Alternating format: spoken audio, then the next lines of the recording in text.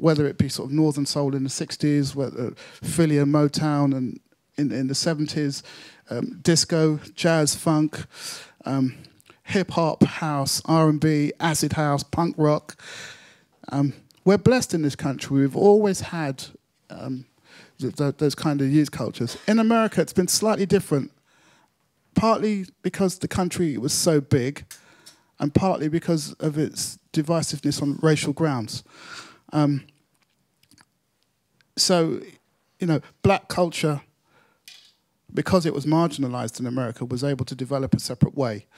Um, so it was always going to give us jazz music, for instance. It was always going to give us hip hop. It was always going to give us soul or disco.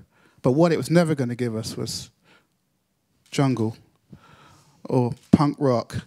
The great thing about you know the way the English approach and use music and and subvert lifestyle is that we're we're not scared to experiment.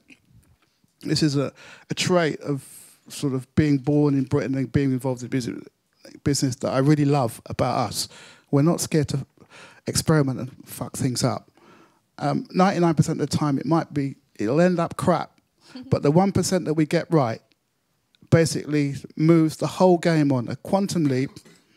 And thanks to the powers of the internet, we're able to sell that around the world.